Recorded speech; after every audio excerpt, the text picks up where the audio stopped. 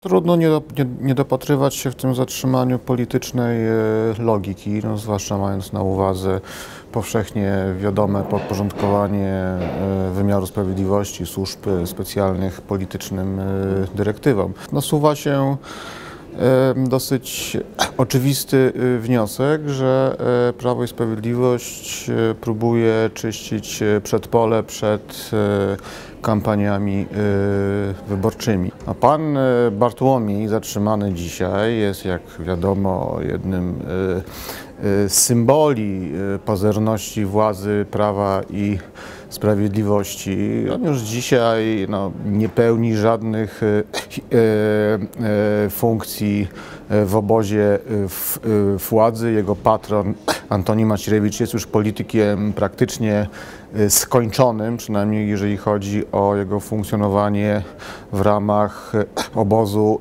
rządzącego, więc była to decyzja bez, bezpieczna dosyć. W politycznych kuluarach e, krążą pogłoski i spekulacje o e, śledczym e, materiale, który jedna z gazet w najbliższym czasie ma opublikować.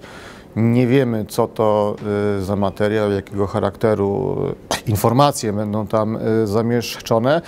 Natomiast całą akcję z panem Bartłomiejem też i dzisiaj interpretuje się w taki sposób, że być może jest to krok wyprzedzający, trochę zamulający to, co nas czeka w na- w najbliższym czasie. Zatrzymanie Bartłomieja M. raczej moim zdaniem wskazuje na to, że Antoni Macierewicz e, stracił immunitet e, taki nieformalny w ramach Prawa i Sprawiedliwości.